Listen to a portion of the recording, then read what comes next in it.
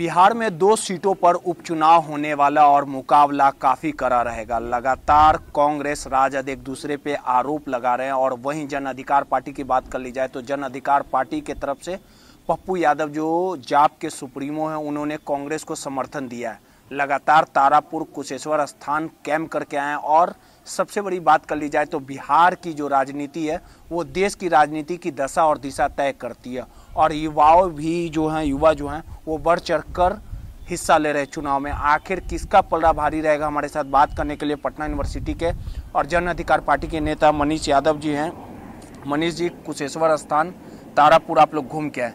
क्या लग रहा है माहौल? किधर की हवा है? पप्पू यादव के समर्थन देने के बाद कांग्रेस के जो उम्मीदवार हैं, वो कितना मज़बूत हुए? देखिए, कांग्रेस पार्टी ने हमारे नेता आदरणीय पप्पू यादव जी से समर्थन मांगा। और दोनों जगह पे, कुशेश्वर स्थान और तारापुर में, युवा और पढ़ा लिखा अमेरिका से पढ़ लिख कर आया, कुशेश्वर स्थान में उम्मीदवार दिया गया है। और एक शिक्षित युवा देश को आगे बढ़ा सकता है, इस उम्मीद से पप्पू यादव जी ने कांग्रेस को समर्थन किया। अगर आप देख लिया जाए उस दोनों जगह पे विकास तो आप सड़कों को जाकर देखिए। जिस सड़क पे नीतीश जी कहते हैं कि हमने सड़क और बिजली दिया उस गाँव में जब हम लोग घूमने गए तो उस गाँव में सड़क था ही नहीं। टूटे ईंटे की सड़क थी। उस पर आदमी अगर एक दिन अच्छे से सफ़र कर ले तो तबीयत खराब हो जाएगी। और लेकिन यही उससे पहले भी विपक्ष था। विपक्ष का भी यही हाल है। अगर वो कुछ बनाए होते तो वो दिखता। ना वहाँ ठीक स्कूल है, ना वहाँ बिजली की स्थिति सही है।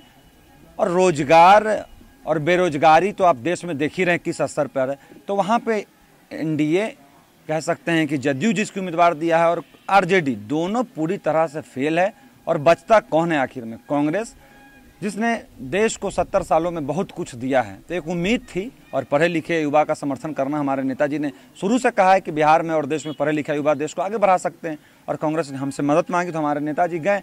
और ज़ाहिर सी बात है, कांग्रेस को जितना वोट आना था, पप्पू यादव के जाने से वोट में बढ़ोतरी हुई है, रिज़ल्ट और परिणाम जो भी हो।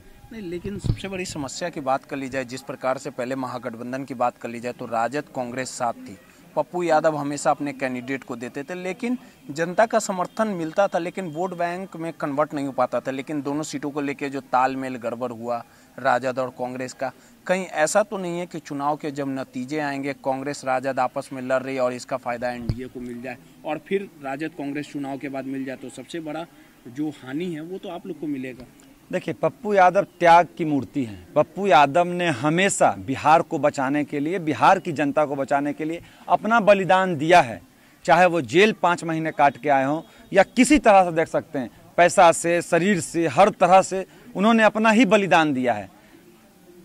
दो ऐसे विपक्षी पार्टी ऐसी एक विपक्षी पार्टी और सत्तारूढ़ पार्टी जिसने आज तक तीस सालों में बिहार में विकास की किसी तो तरह कांग्रेस भी तो साथ थी तीस सालों में ऐसा थोड़ी ना कि राजद सिर्फ़ रहा। देखिए जो भी, भी तो साथ बैकफुट पे लोग कांग्रेस बैकफुट पे बैकफुट पे।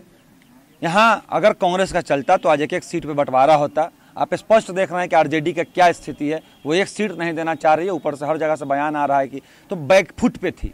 अगर पूरी अगर एक विधानसभा हम लोग देखिए इससे किसी का सरकार बनना न बिगड़ना है लेकिन अगर एक विधानसभा की बात की जाए उसके विकास की बात की जाए तो हमें लगता है दोनों सीटों पे कांग्रेस को जीतना चाहिए क्योंकि पंद्रह साल पंद्रह साल दोनों को दिया जा चुका है ये दोनों सीट पर अगर कांग्रेस जीत के आती है तो पूर्ण रूप से उस विधानसभा का विकास होगा भले सरकार किसी की भी अगर बने। कांग्रेस हार जाती है और फिर राजद के साथ चली जाती है तो सबसे बड़ा नुकसान आप लोग को होगा। ऐसा लगता है कि ऐसा हो जाएगा? वाकई कांग्रेस भरोसा है? कांग्रेस ने भरोसे के साथ आप लोग को बुलाया। कांग्रेस ऐसा कदम नहीं उठाएगी ऐसा देखिए हमने कांग्रेस से पहले विधानसभा और बिहार के विकास के लिए निर्णय हमारे नेता ने लिया।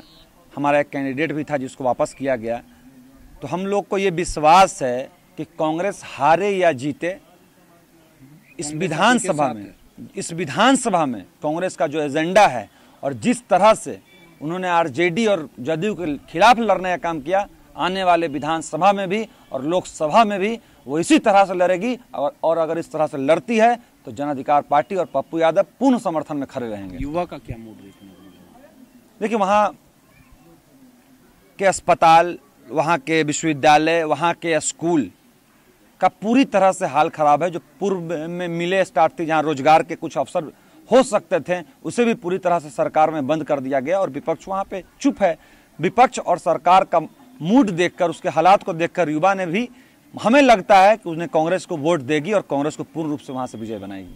देखिए, ये थे पटना यूनिवर्सिटी के मनीष यादव वर्तमान में अध्यक्ष भी हैं, जिस प्रकार से लगातार तारापुर कुशेश्वर स्थान घूम के आए और इन्होंने दावा किया कि कांग्रेस के जो उम्मीदवार है, जनता उन पर भरोसा करेगी और कांग्रेस की कहीं ना कहीं जीत होगी।